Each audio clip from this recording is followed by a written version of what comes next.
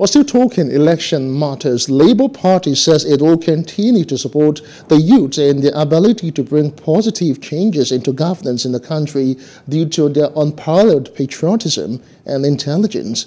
The National Publicity Secretary of the party, Abayomi Arabambi, said this in Abeokuta during the unveiling of the House of Representatives candidate for Abeokuta South Federal Constituency, Tolulope Phillips.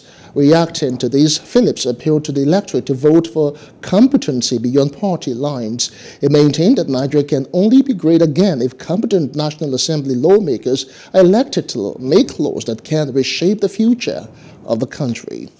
Electoral Act, uh, when, when we are allowed to do substitution when a candidate are validly withdrawn, you know, willingly withdrawn, you know, with a written letter to the national chairman and also an affidavit sworn in the court.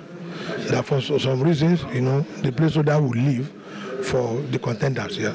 Yeah. His name is Fikayami. His name is Fikayami and they are withdrawn. Well, uh, we don't look at, you know, the old legs because they have actually destroyed this country, both PDP and APC. But the people are spoken now. Uh, look at the rate of voter registration, 9 million in five weeks. They are not raising because of PDP, they are not raising because of uh, the APC. They are raising because of the new change. They, are, want to, they want to challenge the status quo that is prevailing, that has owed us to ransom in Nigeria. That it is now time, you know, for the youth, you know, to really showcase their strength about their capability to turn things around in Nigeria. The time is right. Peter Obi is our presidential candidate. Peter Obi needs to change some laws that this people put in place that is not really pushing the country. Can, we cannot feel the economy.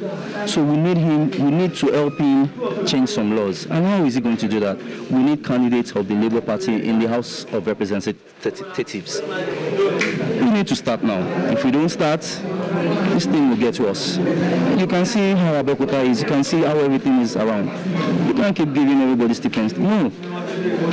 Let us change the country. Let the government work for the people. It is the government of the people, by the people, for the people. Not for a secular set of people. Hello. Hope you enjoyed the news. Please do subscribe to our YouTube channel and don't forget to hit the notification button so you get notified about fresh news updates.